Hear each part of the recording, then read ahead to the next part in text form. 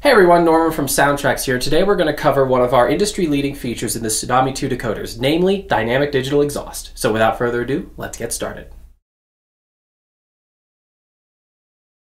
So Dynamic Digital Exhaust is a feature present in our Tsunami 2 decoders that allows the decoder to dynamically adjust the notching of the diesel or the veracity of the exhaust chuff in a steam locomotive in order to simulate the engine working either uh, harder or less hard.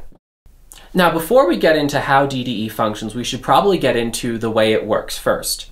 So DDE uses what is known as back EMF or back electromagnetic force, which is a way for the decoder to read how hard the motor is working. And what this allows it to do is this allows it to figure out exactly how much load the motor is under. Now, this is also why it's important to calibrate DDE first before using it because every single mechanism is going to be different. So, in order to use DDE effectively, you want to make sure it is well matched to your mechanism so it knows what the baseline is and therefore what to look for when it's under a light load or a heavy load, and it will adjust accordingly. So now that we've explained why we need to calibrate, we're going to go ahead and do so. So first we're going to grab our throttle, and then we're going to make to program on main. In this case, this is loco number three. And we're going to want to get into the two dot indexed CVs. So we're going to set CV32 to a value of 2.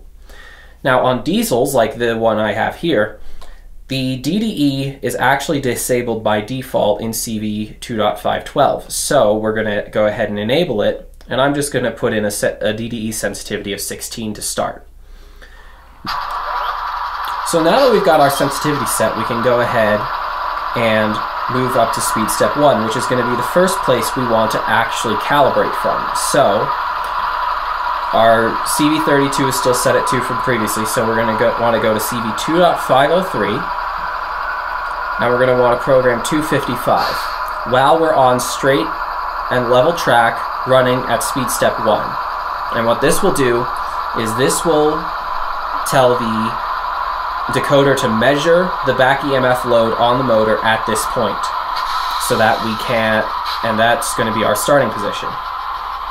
So now we want to calibrate at a higher speed. So we're actually going to back up our locomotive a fair amount just so we have a fair amount of space in which to work.